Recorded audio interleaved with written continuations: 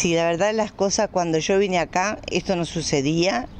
Eh, cuando yo vine acá, acá pegado mío había un terreno en la esquina, desde acá de donde estábamos, que pusimos una prefabricada, veíamos el mar, eh, no volaba arena, ahí estaba todo con pasto. Ahora esto es el desierto del Sahara. Tenemos una problemática muy difícil. Ahora mi salud ha decaído, tengo fibromialgia y tengo, estoy operada de la cadera. Entonces me siento a veces una inútil por no poder ni siquiera salir hasta la esquina.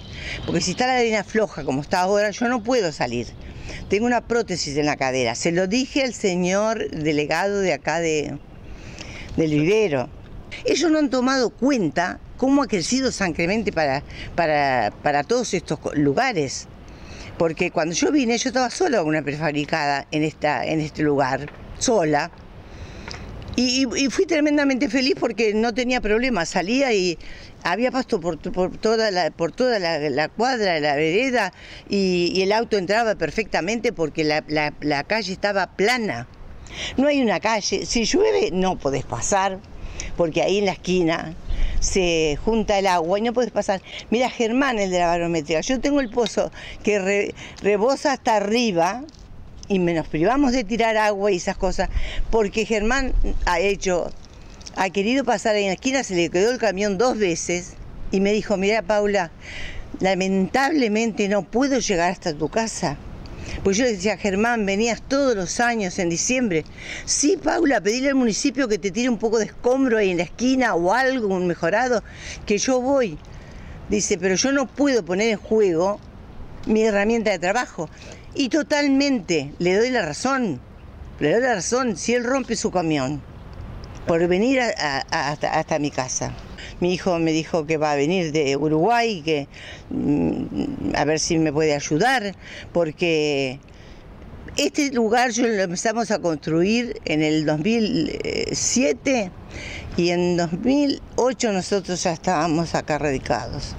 A mí Buenos Aires me hacía mucho mal, eh, ya, ya en ese entonces Buenos Aires era una locura, fíjate. Ahora si estuviera aquí me a Buenos Aires. Aparte el clima, el clima acá es aire puro.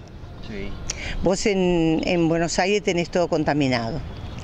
Eh, uno construyó con mil sacrificios, eh, nos hemos privado de muchísimas cosas para poder hacernos un lugar adecuado para vivir los últimos años de vida como corresponde, como una persona que ha trabajado toda la vida. Yo he sido médica, ayudante de la medicina forense y me he sacrificado mucho He sido funcionaria en Uruguay y por eso sé lo que es ser un funcionario y entender cada una de las personas que ha venido aquí a poner eh, una casita e ir eh, de a poco haciendo una cosa, haciendo otra.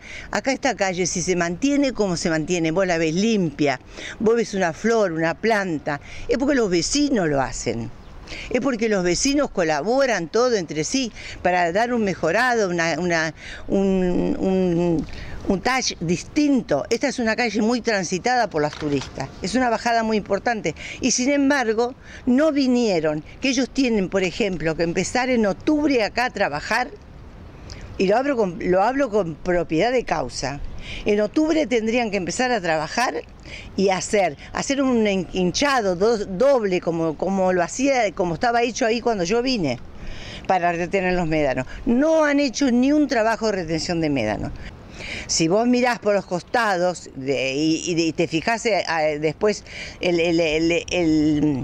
el, médano que entró atrás de mi casa, está agarrando 4 metros por 5 prácticamente.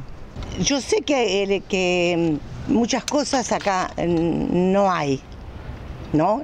Uno puede entender, pero no te pueden mandar dos máquinas al año. No te pueden mandar dos máquinas y una cuadrilla eh, a que mm, te limpie los costados de tu casa. La parte de abajo de, mi casa tiene una humedad terrible. ¿Por qué? Porque la arena estuvo pegando contra la casa. Hemos pagado tres veces una máquina particular. La máquina cobra 5 mil pesos la hora. Esperaremos respuesta. Muchísimas gracias. No, por favor, a las órdenes y muchísimas gracias a ustedes por permitir tener un lugar donde uno pueda decir lo que siente, porque yo siento en este momento indignación, dolor, frustración, muchas cosas que no quisiera sentirlas, porque yo he sido una mujer muy fuerte, he sido una mujer que no he hecho cualquier clase de trabajo.